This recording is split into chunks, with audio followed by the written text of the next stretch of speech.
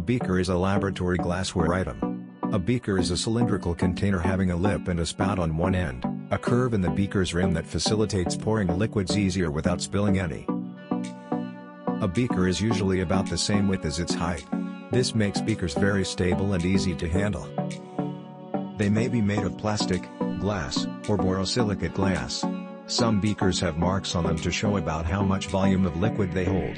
These cannot be used for exact Beakers are often used to make solutions and they are probably the most used piece of laboratory glassware.